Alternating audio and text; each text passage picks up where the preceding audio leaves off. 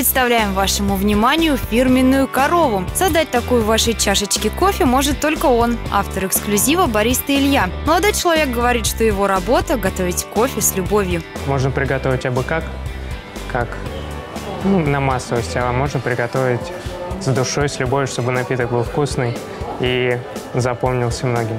Вот уже пять лет Илья балует своих клиентов капучино, латте и эспрессо. День выходит около сотни чашек бодрящего напитка. Чтобы достигнуть такой работоспособности и не просто готовить кофе, а готовить его вкусно, требуется большая теоретическая база. У нас есть Библия бариста своеобразная.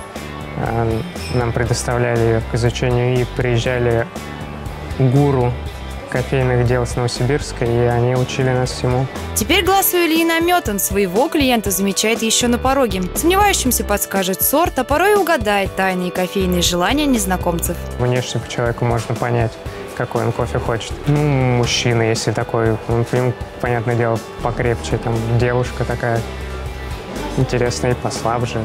За столько лет работы Илья стал почетной персоной в своей кофейне. Нередко гости заходят на чашечку американо именно к нему. Так что хороший бариста по количеству связей и знакомств близок к самым влиятельным личностям города. Общение с гостями как-то бодрит каждый человек. Это личности, с каждым интересно побеседовать, узнать, понравился кофе или нет.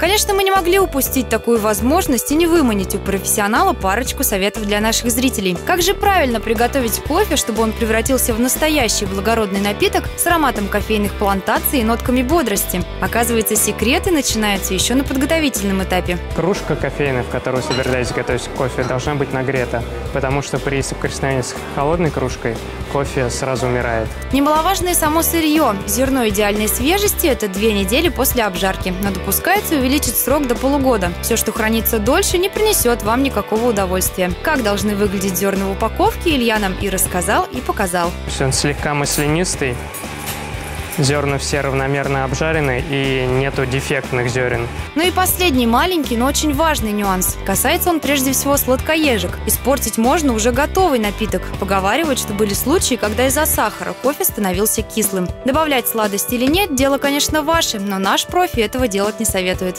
Вкус само ради чего люди приходят в кофейню попробовать вкусный кофе, а сахаром все это перебивается. Что ж, хорошего помаленьку. Три главных секрета приготовления кофе Илья нам раскрыл. За остальными можете прийти к нему сами. Он непременно встретит вас обаятельной улыбкой и самым вкусным латте. Ольга Дурных, Клим Мурашкин. Специально для программы «Кто там?».